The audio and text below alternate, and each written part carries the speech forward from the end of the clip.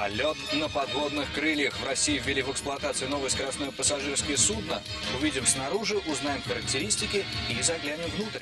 На фоне старых судов в порту Ханты-Мансийска новый Валдай, как на серой городской парковке спортивный автомобиль. Яркая апельсиновая расцветка поднимает настроение, будто приглашает отправиться в речной круиз. Сравнительно небольшой теплоход вмещает 45 пассажиров. Можно было и больше, но конструкторы поставили на первое место комфорт. Северный пассажир, он ездит с вещами, да, то есть у него единственное средство передвижения летом, зимники не работают, поэтому нужно спокойно взять с собой поклажу и двигаться на работу, двигаться домой. Поэтому, конечно, нужно чуть-чуть места оставить для багажного отсека. Интерьер каюты напоминает салон бизнес-джета. Два ряда мягких удобных кресел, температуру внутри регулирует система климат-контроль. Прекрасная шумоизоляция, когда на палубе от воя двигателя и свиста ветра закладывает уши, внутри можно спокойно записывать интервью. А Здесь применен немецкий двигатель мощностью 809 киловатт.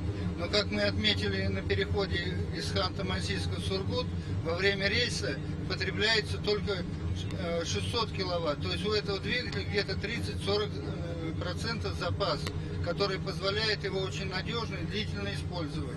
Двигатель здесь единственный агрегат, произведенный не в России. Подходящего по цене, мощности и экономичности у нас пока не нашлось. Все остальное новейшие отечественные разработки. В их основе опыт создания судов на подводных крыльях, которые в нашей стране накапливали десятки лет.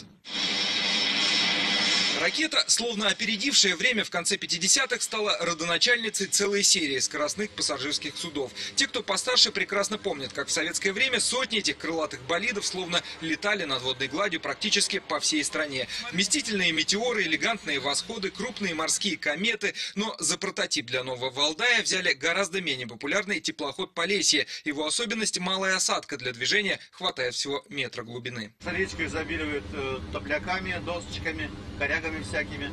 И мне приходится от них уворачиваться. Даже на крейсерской скорости 65 км в час, что для речного судна совсем немало, управлять Валдаем можно буквально одной рукой. Экипаж – матрос-механик да капитан. Чтобы он не уставал во время рейсов, кресло пневматическое, сглаживающее даже малейший подскок на речной волне. Великолепная обзорность, во-первых. Управляемость очень хорошая. Самое главное, что нет болевых ощущений после длительного нахождения на посту управления судном.